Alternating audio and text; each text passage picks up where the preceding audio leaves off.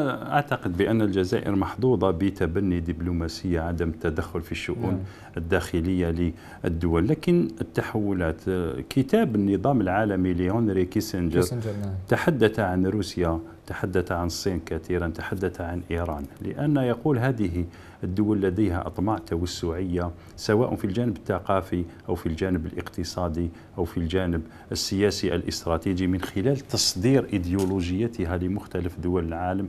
وهذا ما يقلق الغرب والولايات المتحدة الأمريكية التي تريد هي التي أن تبقى مهيمنة. بايدن كان صريحا اليوم في القدس المحتلة وقال بأننا بأنني عدت من خلال هذه الزيارة حتى أؤكد للصين بأن الولايات المتحدة الأمريكية ستعود لكل مناطق نفوذها التقليدية وقال بأن غيابنا الجزئي عن هذه المناطق سمح للصين بالتوغل والتأثير على الكثير من التوجهات. وبالتالي فالجزائر هي لديها سياسة نوعا ما متوازنة تجاه مختلف دول العالم حتى أن الرئيس قال بأننا نحن دولة حليفة لروسيا ونحن أصدقاء للولايات المتحدة الأمريكية وبالتالي